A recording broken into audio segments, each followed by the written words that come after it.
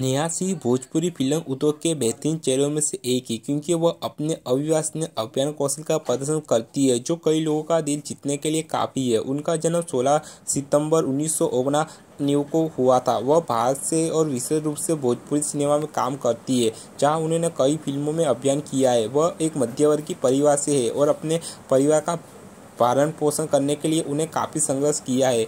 वह अपनी अद्भुत अभियान क्षमता और खूबसूरत लुक के लिए जानी जाती है, जिसे हर कोई पसंद करता है। इसके अलावा उन्होंने कई ब्रांड के लिए मॉडलिंग भी की है।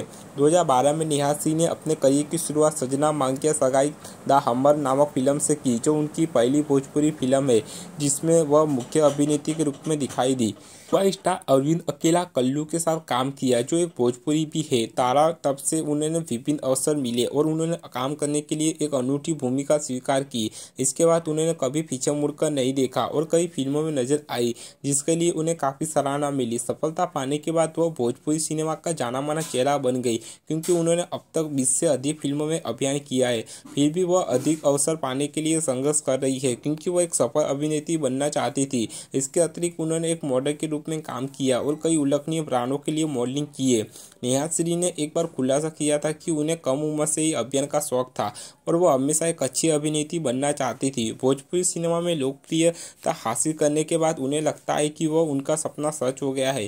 पहली फ़िल्म करने के बाद उन्होंने कभी पीछे मुड़कर ना देखने और खुद को सर्वश्रेष्ठ अभिनेत्री साबित करने के लिए लगातार प्रयास करने का फैसला किया है। नेहा सिंह ने अपने करियर जीवन के दौरान बहुत प्रशंसा और पहचान हासिल की है और भविष्य में खुद को सफलता के शिखर पर देखने की उम्मीद कर रही है।